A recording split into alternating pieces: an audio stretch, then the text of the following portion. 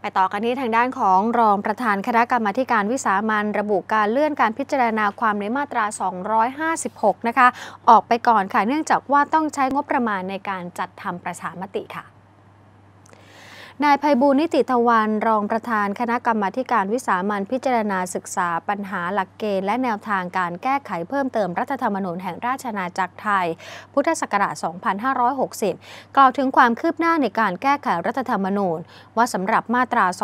256 หมวดว่าด้วยการแก้ไขรัฐธรรมนูญ ซึ่งคณะอนุกรรมการได้วิเคราะห์ศึกษาบทบัญญัติรัฐธรรมนูญและพระราชบัญญัติประกอบรัฐธรรมนูญ โดยได้นำไปพิจารณาและเสนอต่อที่ประชุมคณะกรรมาการในสภา โดยความเห็นนั้นมี 2 แนวทาง คือมีฝ่ายที่เห็นควรให้มีการแก้ไขและนำเสนอเหตุผลที่จะต้องแก้เพื่อให้ง่ายขึ้น แต่อีกฝ่ายหนึ่งมีความเห็นคัดค้านเป็นส่วน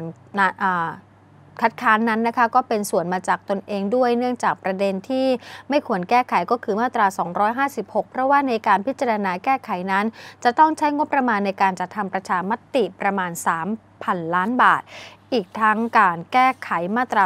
256 นั้น การที่บัญญัติไว้แบบเดิมมีสาเหตุประจากรัฐธรรมนูญฉบับปี 2550 ซึ่งมีการยื่นฟ้องไปยังศาลรัฐธรรมนูญเรื่องเกี่ยวกับการแก้ไขที่มาของสมาชิกวุฒิสภา ซึ่งศาลได้มีการวินิจฉัยนะคะว่าหากมีเสียงข้างมากในรัฐสภา อีกทั้งมีสมาชิกวุฒิสภาในสมัยดังกล่าวที่ได้กลับมาเป็นสมาชิกวุฒิสภาในบทเฉพาะการจำนวนหลายบุคคล ซึ่งบุคคลเหล่านั้นย่อมไม่เห็นด้วย ดังนั้นจึงเชื่อได้ว่าสมาชิกผู้ที่สภาตามบทเฉพาะการจะไม่เห็นด้วยกับการแก้ไขรัฐธรรมนูญ และยังส่งผลให้เสียงบประมาณในการจัดทำประชามติด้วย และ เป็นความชอบธรรมที่จะปฏิเสธการแก้ไขรัฐธรรมนูญ พร้อมทั้งการแก้ไขรัฐธรรมนูญมาตรา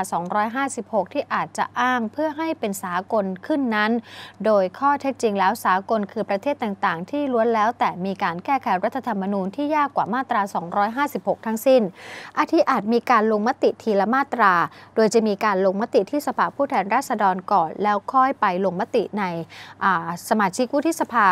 ซึ่งแต่ละสภาต้องใช้เสียงเกินกึ่งหนึ่ง โดยหลักการแล้วเป็นเรื่องที่ยากกว่าการแก้ไขรัฐธรรมนูญตามมาตรา 256 ที่อาศัยเสียงของสมาชิกวุฒิสภา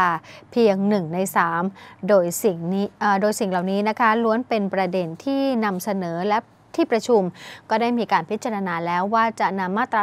256 ที่อาจจะมีบางประการที่มีความซับซ้อนมาก และส่งผลให้เสียระยะเวลาในการ